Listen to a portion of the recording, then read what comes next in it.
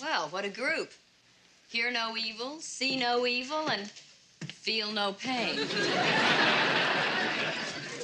What's wrong with you people? I've lost my talent. Mork is leaving. The rabbit died.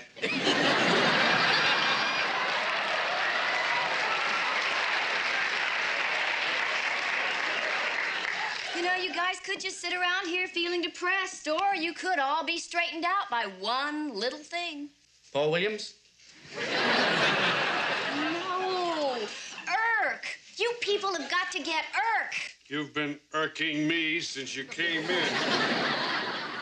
Mindy, listen, Erk would help you with your depression. And Mr. Bickley, you know, you could use some help with your drinking. I drink fine by myself.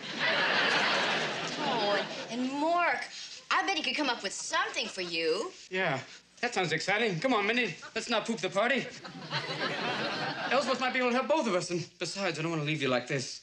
Oh, Mindy, come on. Look, it would do you some good, and I, I'm not going to take no for an answer. I'm going to sit right here until I get your word on it. And that goes for you too, Mr. Hickle.